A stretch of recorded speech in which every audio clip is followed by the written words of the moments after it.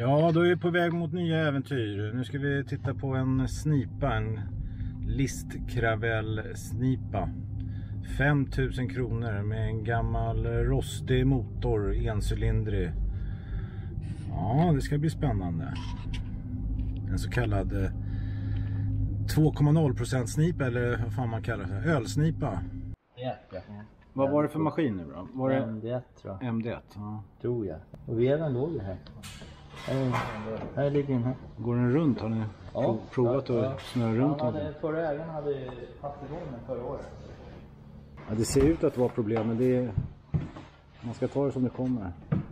Soppatank bränslefilter och getingbo. Ja, det är som det ska vara. det. Mm, det är ju fint. Ska inte den här slå ifrån?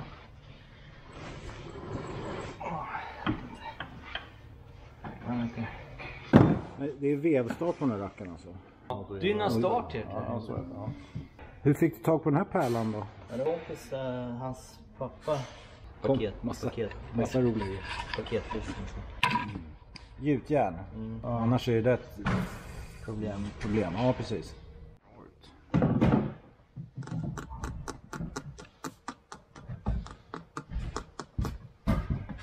Det jag upptäckte var någon skada där i botten.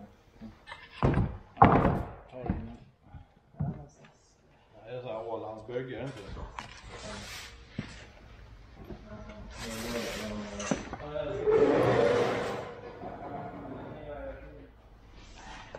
En gång i tiden har den varit lackad.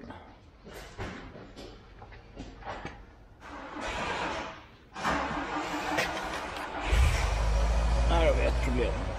Babordsbog.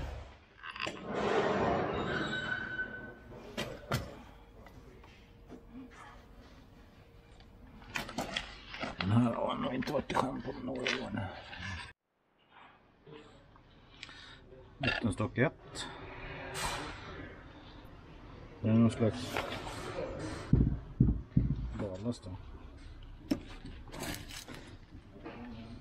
Två, tre,